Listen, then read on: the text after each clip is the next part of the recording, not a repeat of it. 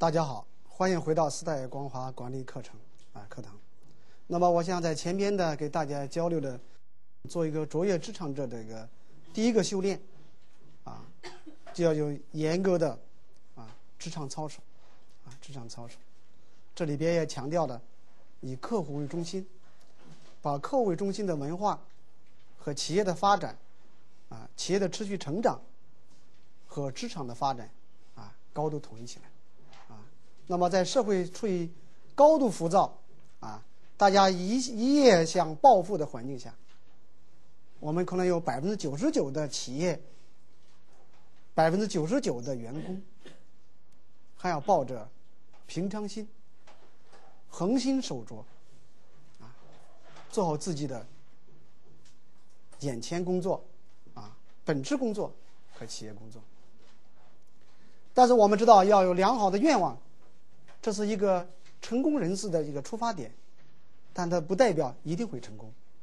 那就是说，我们知道职场是要打拼的，企业是需要竞争的，客户要要求不断满足对他的增值服务和特殊服务，啊，那就是说，我们做一个职场工作者，胜任职业能力的要求就越来越高，啊，因为过去我们一直讲。要与时俱进，啊，也要求真务实，但本质就是要具备职业能力，啊，那怎么样胜任职业能力呢？那我想呢，条条大道通罗马。我相信在座的朋友，啊，从事的职业岗位差异很大，对不对？千差万别，从大学教育的课程，啊。我们知道差别很大，但是我想呢，在职场要做好自己的职场能力，它可能有很多共性的问题，啊，共性的问题。第一点呢，我想呢，要告诉大家就是，首先要了解自己职务的方法，啊，了解职务的方法，啊，都知道，哪怕是清洁工，你上班一定要搞清楚我干啥的。哪些地方该打扫，哪些地方不该打扫？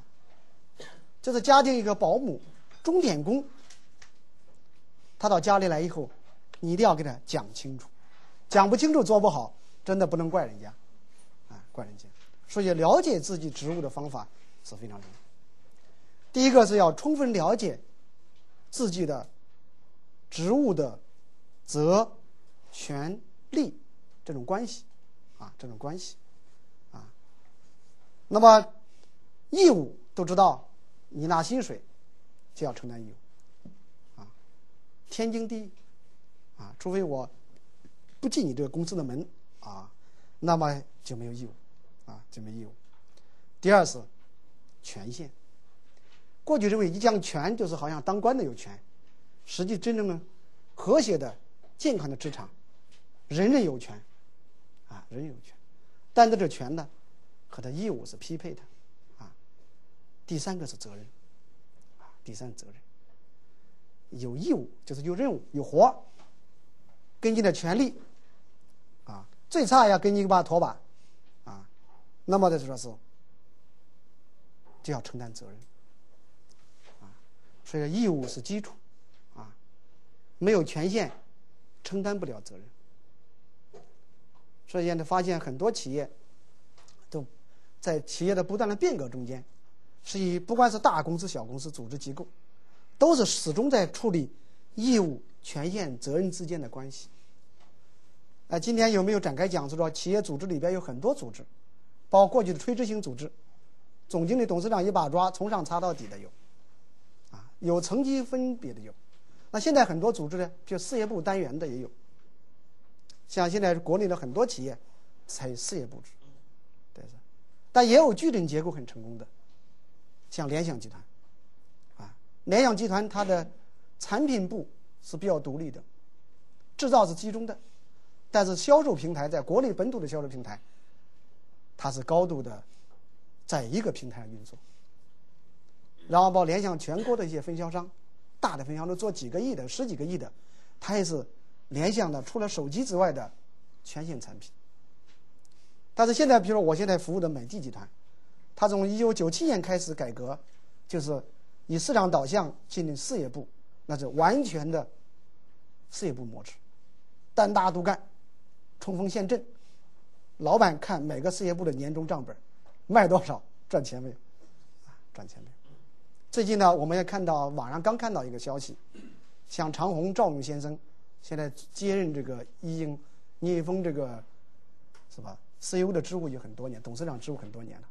最近又看到长虹还在加大事业部的分权放权机制，放权机制，就在中国企业的时候处理不好一抓就死，一放。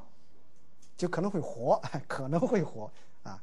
所以说，整个中国的你看有，很多企业的改革就是解决收和放的问题，包括中央和地方政府也是这种关系。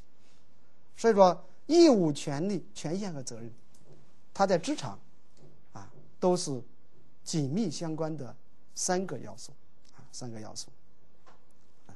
那么什么是责任呢？啊，就是分配给每个人的职务都要规定。他该做什么，即如何做，啊，如何做？明确的规定该做什么，即如何做，就是这职务的责任，职务责任。所以有时候我也这几年我也是因为这个公司不是很大吧，每个人呢，就是管理干部看得很清楚，比较清比较清楚。有时候发现哎，突然冒着有些人有综合才能。有时候自己当领导又犯一个毛病，就说哇，这小子这小子这方面行，马上想用在这方面，可能有时候跟他的原来确定好的岗位包的薪酬是有冲突的。但是如果把这个他岗位迅速转移过来了，有些萝卜拔萝卜拔掉了，坑留下来。所以在企业管理最难就是什么呢？企业个现象是叫锅多盖少盖儿少。哎呀，事情每天多啊。但一发现能用的锅盖啊，就几个，所以这样就会造成结果呢。有时候，老板愿望很好，想多用对方，但有时候产生冲突，就是责任不清楚。所以，责任是在职场管理中间，第一条，首先确实把责任说清楚。说不清楚，你说这搓麻将四个人不知道最后谁点炮了啊？最后怎么出问题了？啊，责任不清楚。啊，第三个是权限，啊，权限。为了完成每个人的责任，必须配合完成责任应有的力量。这个力量称为权限。权限是完成工作的配备。啊，负的责任越大，就需要配备相对应的权限。权限。所以现在中国就出现一个现象，这个老板累死了，员工闲死了。这个有些有些企业觉得就没有超越这个问题，所以我都经历这个阶段。但主要行业特殊性决定的。那么就说有些企业呢，就是他不放权。老民营企业，首先财务抓紧吧，客户抓紧吧，两个抓紧了，剩下什么抓紧？什么看看都很重要。哎，所以有些老板就解决民营企业就解决不了这个，对自己要控制权限，控制权限。大企业比如上市公司。那么公众公司为什么很多民营公司要要上市呢？就是要解决限制老板的权限，他才进入良性的职场环境和良性的公司运作。我们知道创维集团，这个黄鸿升先生发生了一些不愉快的插曲，也是在人生中间一个却值得汲取教训的事情。因为过去的企业，基本是从上到下，从里到外，都他负责。甚至包括一个广告的招贴画，他都要亲自看、签字确认。所以原来过去我在创维时间很短，有些广告公司老杜总，你不要操那么多心。那最后签字还是老黄签的，啊，我们把老黄搞定了，就是我们跟创维合作的基础。那你这一说，我一听了就就没有不要谈什么了，对不对？所以说，那就但老板这样操心也有他道理，因为他觉得企业创业走过来不容易。很多年轻或者其他职业人士可能不一定理解这种苦衷，但是呢，从现代企业治理讲，也就是说，对老板也要限权，这是叫现业现代企业制度的特点，啊，限权，对不对？所以国家也是政府改革也是解决政府限权问题，因为政府无限政府和有限责任政府是不一样的，对不对？啊，所以这点我觉得是吧？这些道理是放之四海而皆准的。第四个是义务。当你承担了责任，你就必须百分之百的完成你的责任。百分之百的完成你的责任，就是你的义务。这些义务。当这话有些说了，那有些事情老板硬踹给我了，硬要做的，这个，这个就是有可以说是拔萝卜长的，是吧？有时候是拔苗助长的，那我没办法，也不敢说拒绝老板的要求，啊。但是这就是说，当我们讲是理想的，啊，这里边就可能要沟通啊，要要有一个很好的机制运作。啊那么这里边就是我们要承担义务的时候，我们要有中途报告的义务。这个做企业管理最怕，你把事儿交给谁了，中间他不吭声。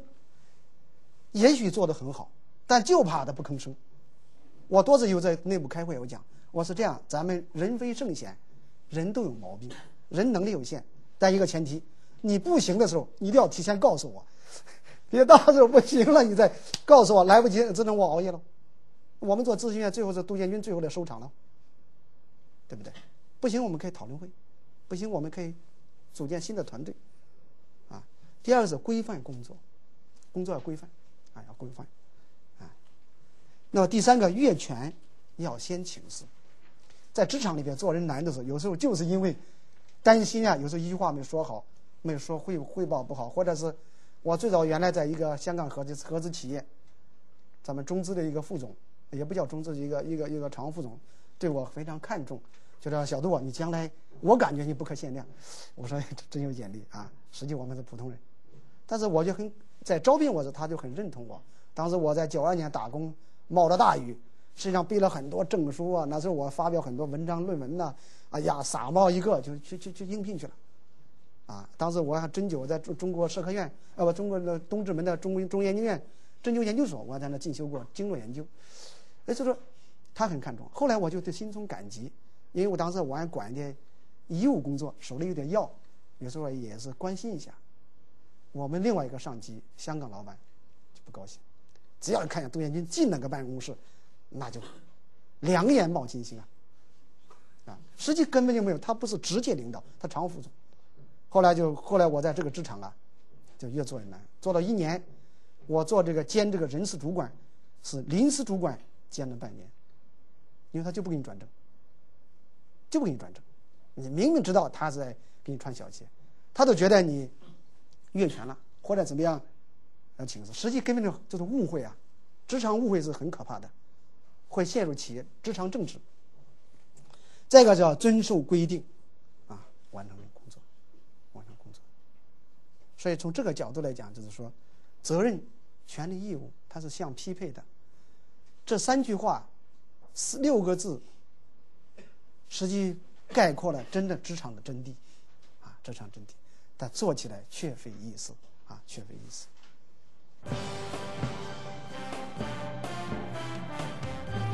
结合中国企业实际需要，精选跨国公司管理精华，现场交流管理经验，全面传授管理技能，帮助解决实际问题。跨国公司管理经验的学习平台，中国企业走向世界的起飞基地。时代光华跨国公司高级经理人课堂。第二个呢，我想给大家了解交流，就是要了解你工作的前手和后手，啊，前手后手。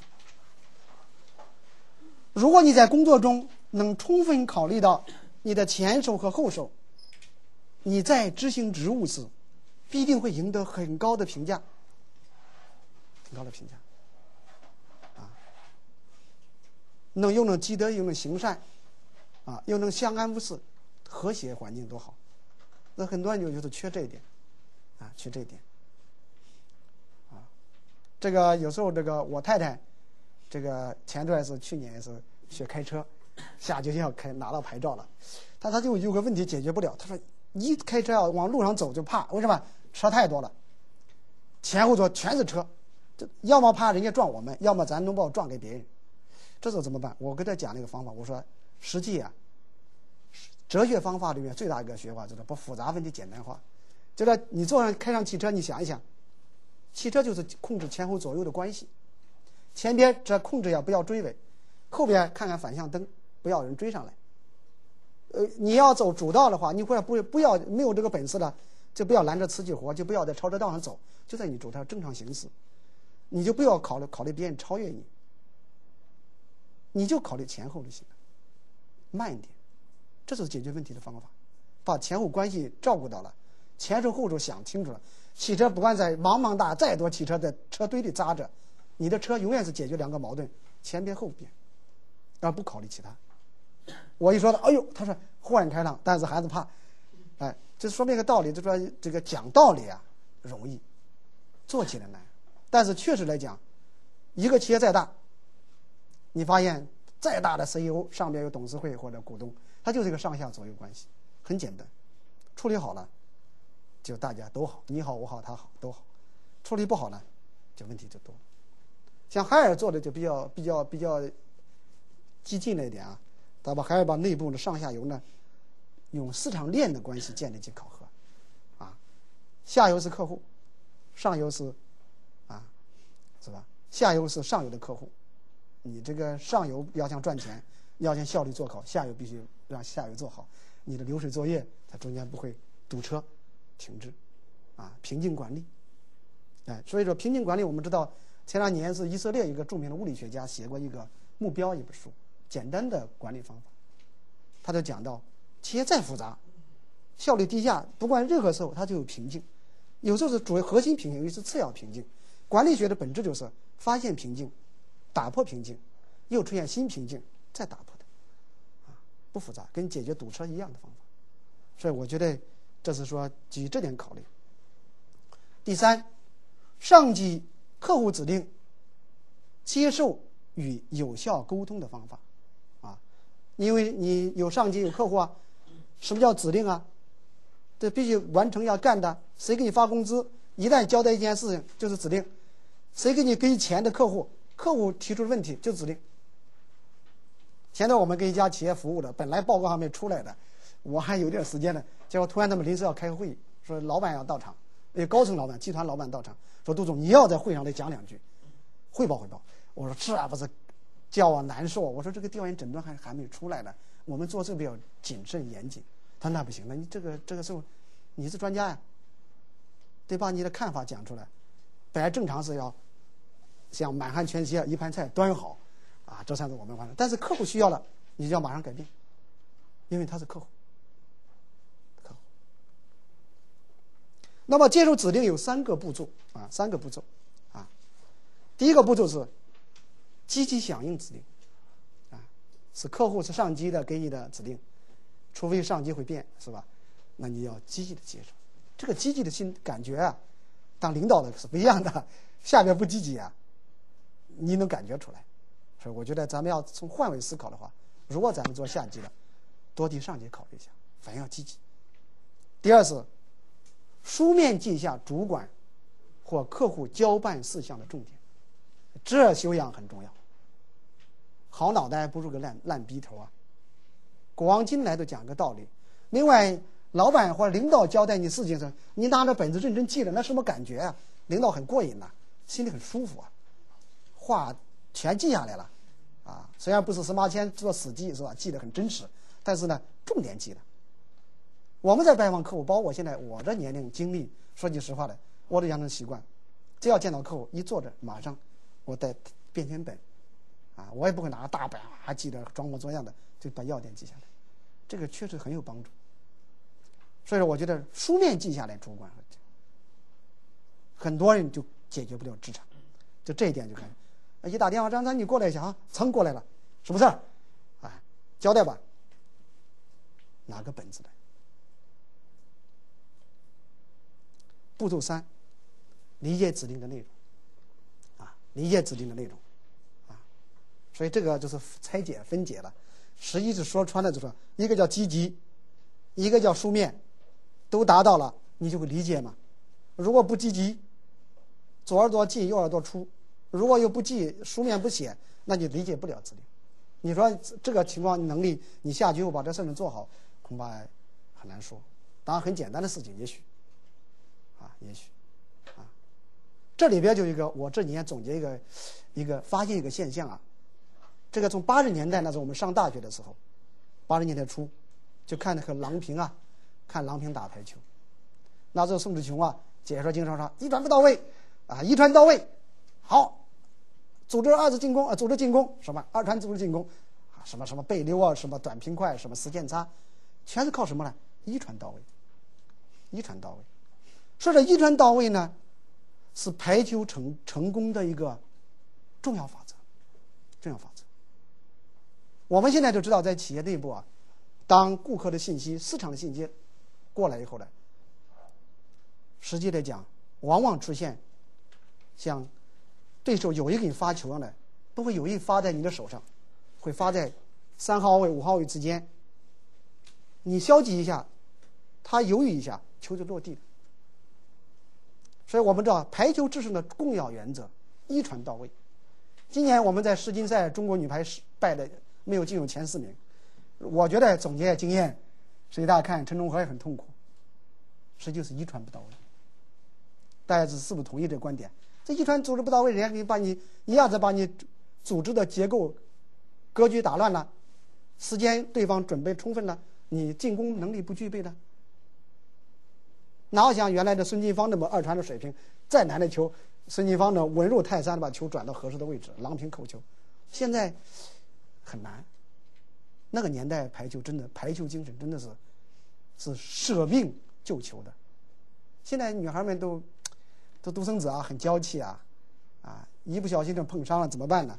啊，所以说从这一点来讲，遗传带到位，对企业内部来讲，它也是至关重要。的，啊，至关重要的，所以我觉得在有时候经常在想，世上很多事情啊，确实没有绝对的真理，它只有辩证的真理，也只有取了一部比相，很多其他行业跨行业的智慧和现象，对我们是个启示，啊，是个启示。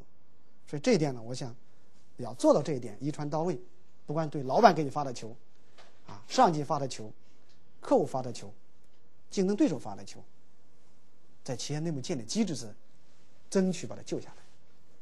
休息十分钟，好吧？谢谢大家。